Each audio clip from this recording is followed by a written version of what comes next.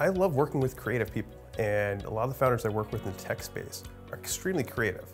Part of my job is helping them fundraise, and getting that life-changing capital to help them succeed in their vision is uh, really feels satisfying and gratifying when you see that happen. A lot of times clients are moving really fast. They have really sophisticated legal needs, but they don't have an in-house counsel. And that's kind of where I come in, that I serve that role, so we're helping them manage their risk and understanding where, they're, where they could be exposed, and if, to the extent I can help them, where to plug those liabilities. You know, your average founder sees maybe three or four funding rounds in their entire life cycle of the company. Venture capitalists see maybe five or six a year where they're really leading the round. That's a lot.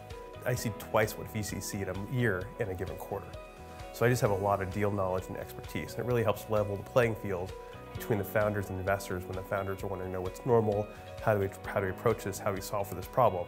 I've been there and I've done that. I can usually help them navigate those things. It's okay to be selective about who you're taking money from. These are people who are going to be on your cap table and your investors for the life cycle of your company. You want to make sure they have the same vision as you do. And especially if they're leading a round of funding, they want, you want to make sure that they see your vision the same way and are with you through the good times and the bad times.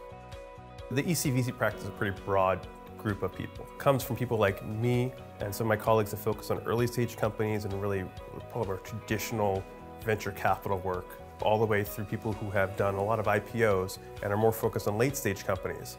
And the benefit of this is because we have this breadth of experience, we actually share our knowledge with each other.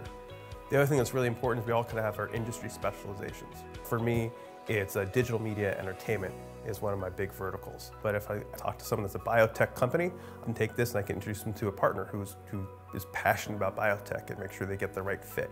Uh, it's one of the things that we want to make sure all clients have is a, a partner and a lawyer that's passionate about their business.